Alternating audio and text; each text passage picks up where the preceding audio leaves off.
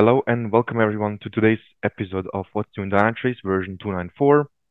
As you can see, today I'm unfortunately recording alone, but um, rest assured my colleagues Berkan and Kale will appear again in the upcoming episodes. We will unite again. Um, let's dive right into 294. Um, as usual, what we will learn today, the playground environment, of course, is linked in these slides. Um, we highly encourage you to check it out. It doesn't cost anything at all. Yeah, you the all all you need is a browser. Actually, if you're already an experienced Dynatrace user, then still please feel free to check it out. All the newest features and and and capabilities of Dynatrace are ready to be tested there right away. Playground environment. Product updates, that's basically the main chunk of today's presentation. We're discussing the product updates with version 294. So yeah, stay tuned for that. And of course, that's not all the resources available. There's a Dynatrace community there um, in the forums. Uh, there is the live chat. There is the documentation, your account team, blog posts. So many, many possible resources where you can get um, updates, information, answers to your questions, consultancy, whatever you need um, yeah, please feel free to reach out. Um, on top of that, we prepared integrated into the documentation um, 100 and more, 100 and plus cases in within many, many categories, allowing you to check out how Dynatrace can be used across all the possible stages within the IT, um, with uh, in an IT journey, basically starting from the developer developer side over to the releases and all the way to the right side about how to protect and improve.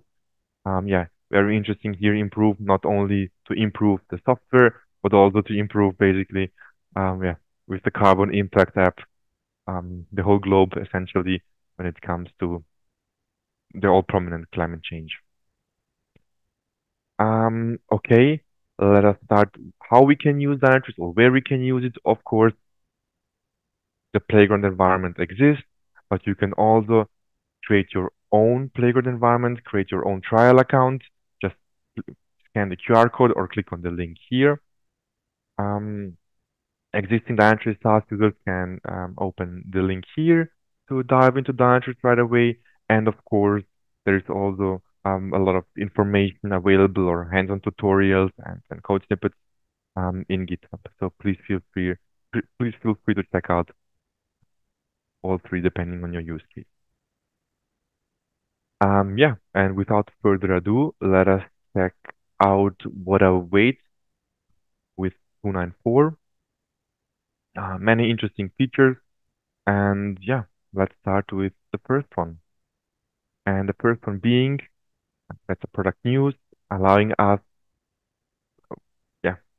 more features when it comes to deleting individual records in within the Grail storage. So basically, yeah, allowing us via the API, just made a screenshot here from the API to delete on record level. Uh, basically, why would we need that? Because of compliance issues. There are end user requests requiring that level of, of, of deletion and um, or privacy laws, for example pretty strong feature to erase on record level data.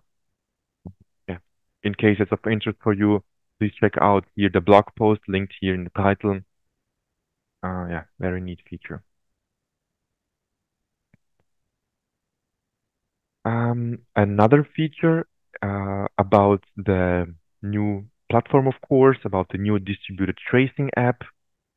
There was there is an improvement happening, or it it happened already and the improvement is a better way of handling long-running fetches and requests and uh, yeah, request or fetching traces. Um, maybe you remember it from the previous platform when applying complicated filters in distributed traces or checking larger time frames out. Um, then the loading times could have been a couple of seconds, and this was improved. So first of all, the visualization is better, as you can see in the new app um, analysis runs when applying filters they doesn't they don't take that long anymore and what is very cool, partial results can be returned from fetches um, that have been automatically uh, canceled because they took so long before the timeouts, and partial results will be made visible.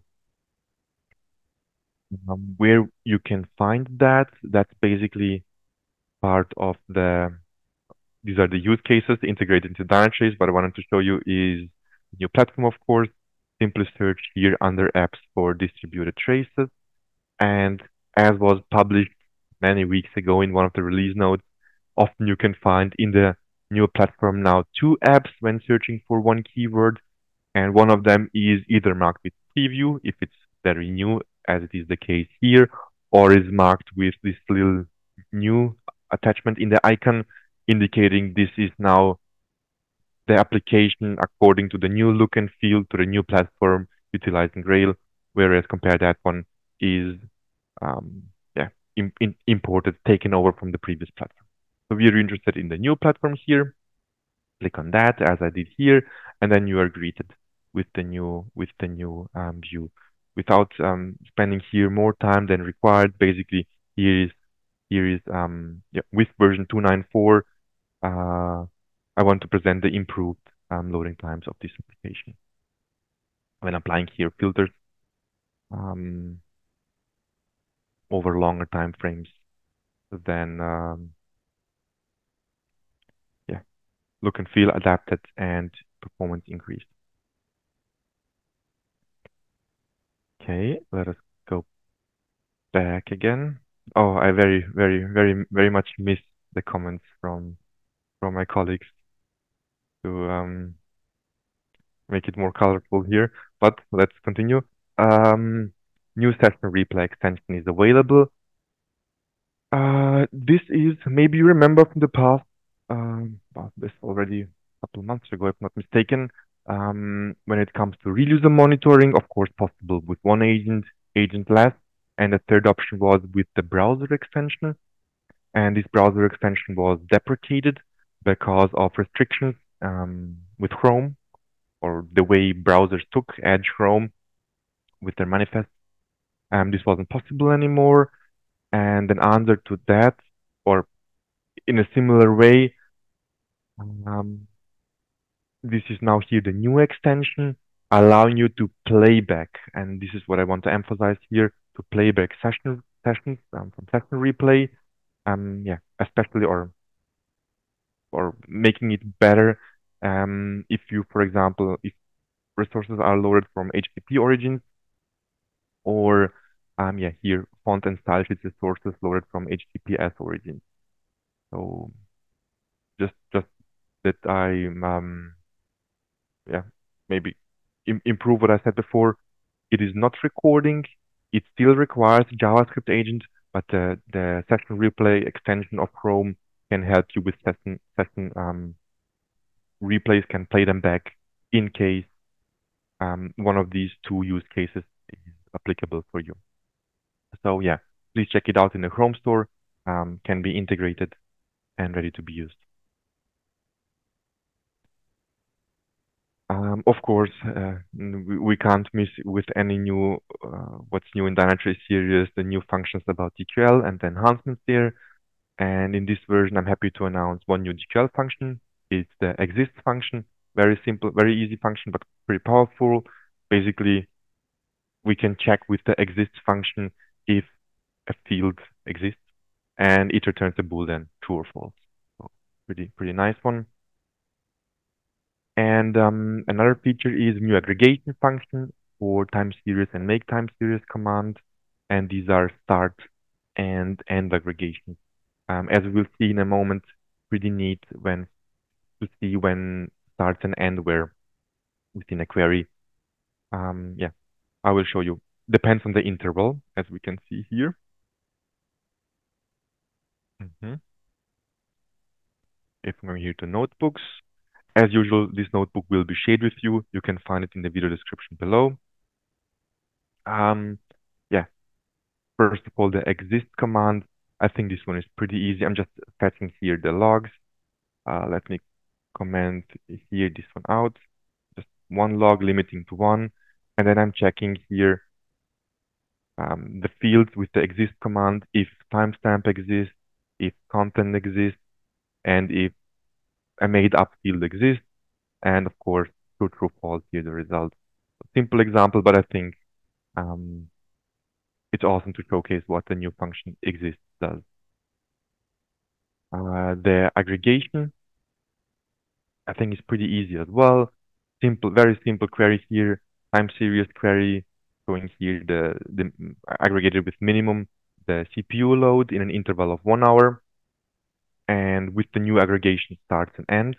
And if we run here, then we can see here on the right side, of course, of course, we see here start and end.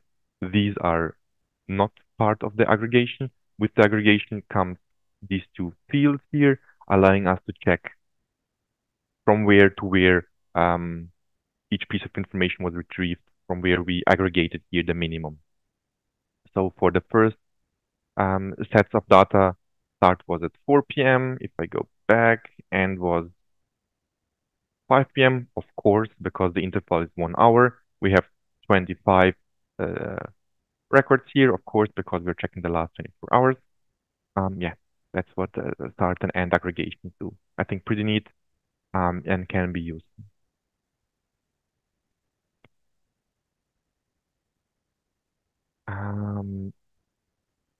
Okay. What else do we have? Or let me let me go back to the slides once more. Um, yeah, please feel free to try it out here in the playground environment. It will lead you directly to the Notebooks app. Um, two more new features when it comes to the Notebooks apps or Net Notebooks app or the dashboard, the new dashboard app. Um, yeah, one might say low-hanging fruit, but they, I think, increase the usability, the friendliness of using the application platform um, by a lot. First one being we can search in the records list. So I will go back to the notebooks application in a second. Basically, we can check on the left side always and the records list. We can see what data type it is. And now this search bar here, that's what, what's new with 294. And the second one is um, related to what we referred to in the past, graphical DQL, when, for example, exploring logs or metrics on notebooks or dashboards in a graphical manner as you are maybe used to from the Data Explorer when it comes to metrics. Of course, this one here fetches with Grail in the background and um, allows you to chart metrics logs for this for the sake of completeness. But um, what is new here, we can translate this graphical way of searching into the DQL query. I think if I show it, um, it's pretty pretty easy. So what we are doing here, simple. Oh, actually, I'm already showing the the result. So if you go here to adding a new section, you can explore explore explore logs and metrics. And I selected here metric. Uh, that that's what I meant with before. What you're already used to from Data Explorer. Selecting here the metric, selecting the aggregation. We can of course split by. Um, we can limit we can add other commands here to the to the to the bar. And what this does in the background is actually using DQL. And here is the DQL query. And um, so basically allowing you to use, make use to fetch data from DQL, in this case logs or metrics, without really needing to type um, the query yourself.